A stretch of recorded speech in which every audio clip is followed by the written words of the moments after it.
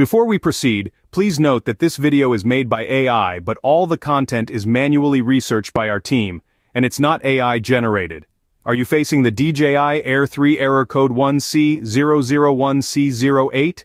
This error message reads, File system error, backup file and format aircraft storage. If you're encountering this issue, you're in the right place. The issue stems from the SSD card, and it can appear even with a brand new SSD card. But don't fret, we've gathered some possible solutions to help you resolve this issue. The first fix you might try involves using the app's on-screen instructions to format your SSD card. After you've done this, check to see if you're still encountering the error. However, before proceeding, remember to save all the important content from your SSD card to your computer. Formatting the card will erase all the data on it. If you've tried formatting your SSD card using the app's instructions, but the error persists, the next step is to try formatting your SSD card on a computer, setting the file system to exFAT. Again, remember to back up any important content before proceeding. Another solution we've found involves formatting your internal storage.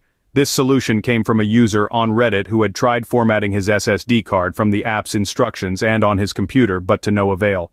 After formatting his internal storage however, the issue was resolved. If you decide to try this method, make sure to back up any important content on your computer before formatting your internal storage. If none of these methods work, the issue might be with your SSD card itself. Try using a different SSD card to see if the error persists. Make sure to use the recommended microSD cards for the DJI Air 3. If the error continues to appear even with a different SSD card, we advise you to contact the DJI support team to report the issue. Remember, technology can sometimes be a bit unpredictable, but with a bit of patience and troubleshooting, you can often find a solution. If you found this information helpful, don't forget to subscribe.